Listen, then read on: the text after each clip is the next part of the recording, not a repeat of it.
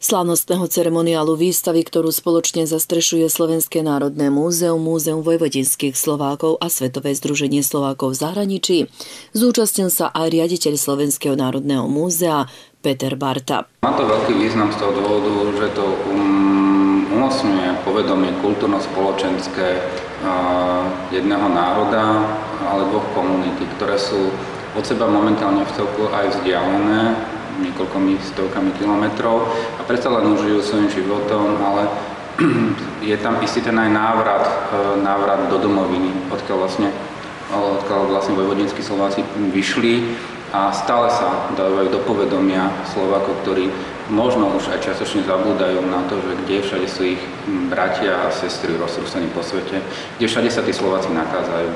Je to veľmi dobré vlastne aj z toho hľadiska, že keď sa tá pamäť, mm, aby tá pamäť nedostarla a nezabudla na, na našich ďalších, ďalších spoluobčatá, spolunárodovcov.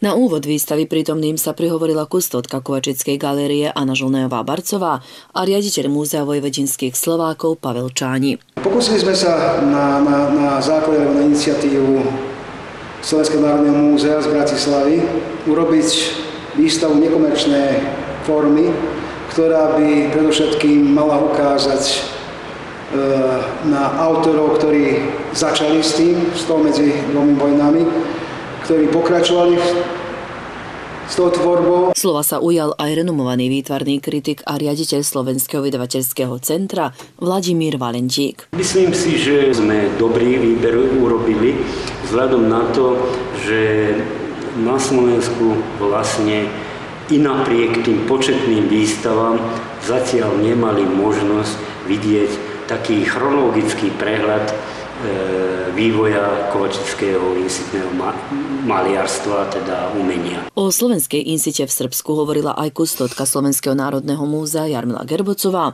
ktorá priblížila aj vznik tejto, ako to niekoľkokrát vyznelo v rámci otváracieho programu, nekomerčnej výstavy, ktorá má za cieľ predstaviť kovačickú insitnú tvorbu počnúc od najstarších až po súčasne tvoriacich maliarov. Pritom podotkla, že výstava je zaradená do programu podujatí, ktoré sa realizujú počas predsedníctva Slovenskej republiky v Rade Európskej únie. Samotný projekt vznikol, že predstaviť galériu som mala na to niekoľko dôvodov. Prvý dôvod bol, že sme, ako som spomenula v prívete, e, Slovenská republika je v druhej polovici tohto kalendárneho roka predsedajúcou krajinou Rady Európskej únie. A keďže ja stále vravím, že naši dejiny tu na Slovensku. Treba do nich začleniť zákonite aj dejiny Slovákov žijúcich v zahraničí. Bez toho naše dejiny neexistujú.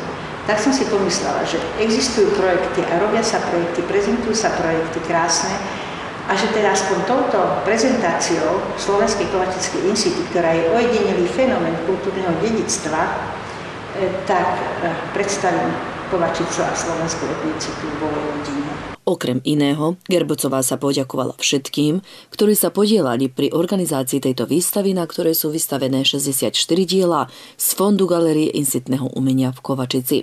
Slavnostnej vernisáže zúčastnili sa aj insitní maliari Eva Husáriková a Jan Glózik. Ctitelia kovačického fenoménu v podobe insitnej tvorby si budú môcť pozrieť nekaždodennú expozíciu pozostávajúcu z oleomalieb priekopníkov insitného umenia, ako sú Martin Paluška a Jan Sokol z roku 1939, až po obrazy súčasných maliarov členom Galérie insitného umenia. Výstava je putovného charakteru a tak už poputovala od Piešťan cez Banskú Bystricu, teraz zakotvila v Bratislave, kde bude k dispozícii milovníkom Incity do 26. februára roku 2017. Koncom februára diela kovačických umelcov budú nainštalované v Slovenskom dome v Prahe.